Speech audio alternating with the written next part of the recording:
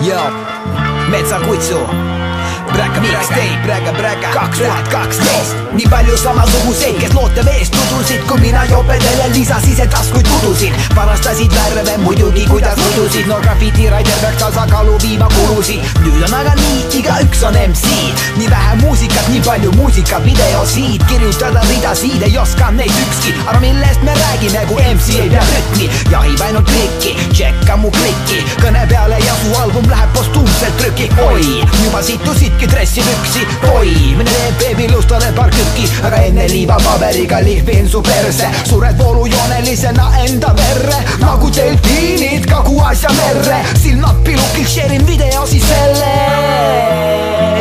Ah, ah. Bräk, bräk, näida tuissi, saad suhkrut, bitch. Näida tuissi, saad suhkrut, bitch. Näida tuissi, saad suhkrut, bitch. Näida tuissi, saad suhkrut, suhkrut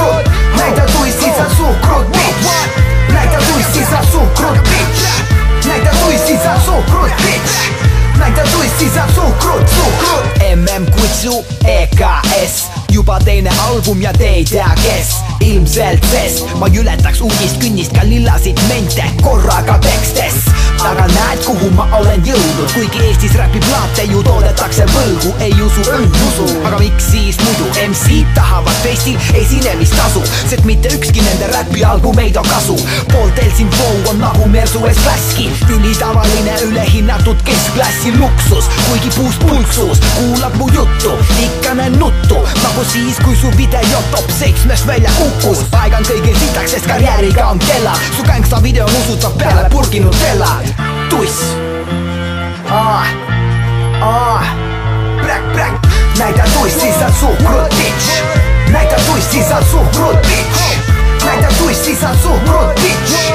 Näita tussi, sa suhkrut, suhkrut.